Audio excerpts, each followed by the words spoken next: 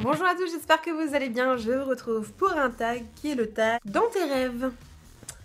Voilà, alors c'est un tag que j'ai vu donc sur les chaînes de Virginie alias Lollipoops et Marie-Ange, donc mon ange. Euh, je n'ai pas été taguée à ce que je sais, ou alors je l'ai loupé. Euh, et je me suis dit que ça pouvait être vachement sympa de vous faire ce tag, je l'ai trouvé très sympa, donc on y va tout de suite, il y a 10 questions. Première question, ton métier de rêve serait organisatrice de mariage. 2. Ton prochain voyage serait... Alors, on est dans mes rêves, hein.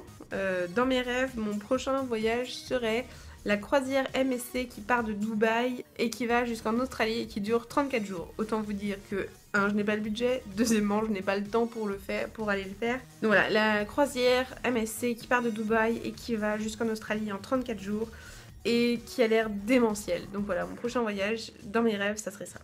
Mais ça ne le sera pas. 3. Tu voudrais jouer dans un film de science-fiction. 4. Ton pouvoir magique serait la téléportation. 5. Ton plat idéal à volonté. Donc je vais continuer la... dans mes rêves, ça serait sans prendre un gramme. Les tartines de brioche au Nutella. Sans prendre un gramme. Ça, ça serait cool. 6. Ton maquillage permanent serait rien du tout.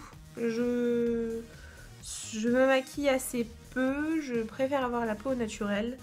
Euh, la seule chose, ça serait tout petit peu teinter les lèvres, ouais, teinter mes lèvres un tout petit peu ou effacer vraiment mes marques euh, sur le visage. Mais bon, je préfère être naturelle. Donc non, pas de maquillage permanent, même dans mes rêves. non, pas du tout.